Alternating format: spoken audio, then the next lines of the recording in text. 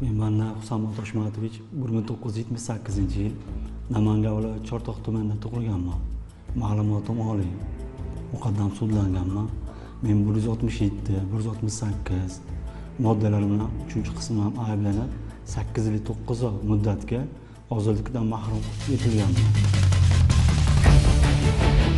bannayev husanboy toshmamatovich bir ming to'qqiz yuz yetmish sakkizinchi yil namangan viloyati chortoq tumanida tug'ilgan. Millati o'zbek o'zbekiston respublikasi fuqarosi. Ma'lumoti oliy oilali ikki nafar farzandi bor. Jinoyat ishlari bo'yicha chortoq tuman sudi hukmiga ko'ra o'zbekiston respublikasi jinoyat kodeksining bir yuz oltmish sakkizinchi ikki yuz yigirma yettinchi ikki yuz yigirma sakkizinchi moddalarining tegishli bandlari bilan ayblanib sakkiz yilu to'qqiz oy muddatga ozodlikdan mahrum qilingan. Oilamizda dadam banna toshmuhammad e, akalar shopir bo'lib ishlaganlar. Onam tarbiyachi bo'lib ishlaganlar o'tib ketganlar. Akam oliy ma'lumotli ayolim oliy ma'lumotli o'qituvchi. Man hozirgi namangan muhandislik iqtisodiyot institutida ekonomika fakultetini iqtisod bo'limini tugatganman. Institutni tamomlab besh yil uch oy mehnat bo'limida bandlikka ko'maklashish markazi bo'limida ishga joylashtirish bo'lim boshlig'i va ijtimoiy himoya qilish bo'limi boshlig'i bo'lib ishladim. Undan tashqari internet kafe ochib fuqarolarga ham o'zimga bir iqtisodiy faoliyatim yaxshi bo'lsin. E, shu e, bizni yoshlar har internetdan chiroyli foydalansin degan maqsadda e, internet kafe ochdim. Sakson beshta kompyuterim bo'lardi shu internet xususiy korxonamda. Shundan yigirma beshtasi gen klub qolganisi internet klub edi. Undan tashqari bankomat xususiy yo'lda kserokopiya va boshqa xususiy korxona ochib shu mchj toshvodda mchj faoliyatini yuritayotgan undan tashqari man mehnat vazirligi tashqi mehnat migratsiya agentligiga qarashli litsenziya bo'limiga a'zo bo'lib shartnoma asosida shu fuqarolarga litsenziya berish bo'limi bo'yicha ishlab kelmoqda edim hozir koreyaga janubiy koreya respublikasiga chiqish fuqarolarda ishtiyoq chunki u borib fuqarolar mehnat qilaman degan fuqarolar ko'p edi. Shuning uchun u fuqarolar manga kelib pul taklif qilgandan keyin man ularni o'zimni ehtiyojimdan kelib chiqib ularni bu olish mumkin bo'lmagan pullarni olib o'zlashtirib yubordim. Man bir yildan ortiq yuritganman oldin berib kelganman. Oldin. O'sha litsenziyani berib kelganman. Keyin meni ustimdan shikoyatlar borib borgandan keyin o'sha bizni rahbariyatga keyin meni litsenziya shartnomam bekor qilingan. Men bilan tuzilgan shartnoma bekor qilingan. Shunda ham man fuqarolarga bekor qilinganini aytmasdan pullarni olaverganman. Fuqaroni solig'idan pul yoshirishim bizni har bir oyiga oyiga biz uch million olti yuz ellik ming so'm soliq foyda ustama foydamiz bo'lardi. O'shani biz oyma oy topshirishimiz kerak edi. Biz undan tashqari ikki million bir yuz ming so'm abonentskiy soliq bo'lardi. Uni biz yashirib yoshirdim man o'zim va soliqqa hisobotlarni o'z vaqtida ko'rsatmasdan foydamizni ko'rsatmasdan o'zim yoshirib o'zimizni ehtiyojimizga ishlatib yubordik. Xatolik tufayli o'zimni qilgan ishim tufayli noto'g'ri bosgan qadamim tufayli man shu ishga qo'l urdim. Man bu qilgan ishlarimdan juda qattiq afsusdaman kelajakda ozodlikka chiqsam har bir qadamimni o'ylab bosib oilamga kelajak vatanimga o'zbekistonga o'z ozgina bo'lsam o'zimni hissamni qo'shaman. Qilgan ishimdan chin ko'ngildan pushaymonman oila sharoitim ham yaxshi ayolim o'qituvchi oliy ma'lumotli o'zim ham oliy ma'lumotli edim man hatto adashdim. Man shuning uchun juda pushaymonman bu qilgan ishimdan yo bir ehtiyojim yo biror narsadan ehtiyojim yo'q edi. Hozir ikki nafar farzandim kattasi sakkizinchi sinfda o'qiydi o'n besh yosh. Esa oltinchi sinfda o'qiydi bir qiz bir o'g'il.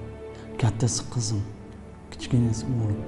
Har bir sud zalida dadamni ko'rganimda hozir ham o'zimni kechirolmayman. Chunki dadam halol mehnat qilib besh o'g'il ikki qizni tarbiyalab oliy ma'lumotli qilib har birimizni uy joy qilib o'qitib ishlarga kirishimizda boshqa tomonida shu ota onam juda katta turtki bo'lgan. Lekin mana shu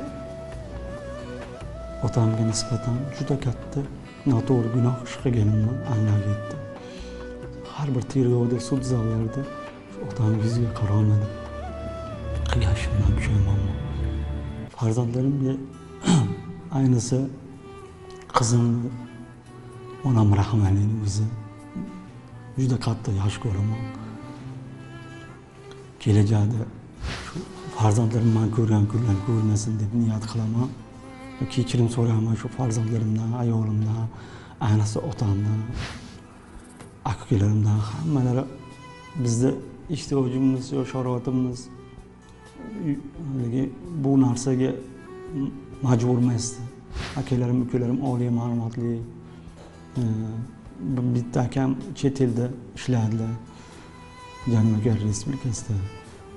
Bir akam e, ichki ishlar xodimi bo'lganlar e, bitta ukam institutda namangan viloyat institutida dars beradilar o'qituvchi bo'lib.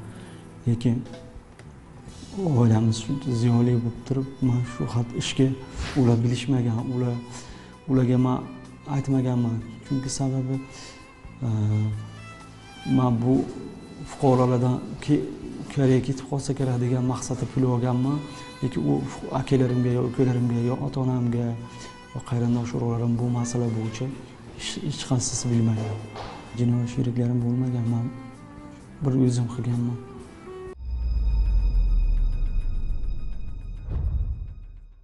Ikki ming birinchi ikki ming uchinchi yilda davrida ishlaganman. Har bir e, ishlagan davrimda g'azni moliya bo'limi hisoblanadi.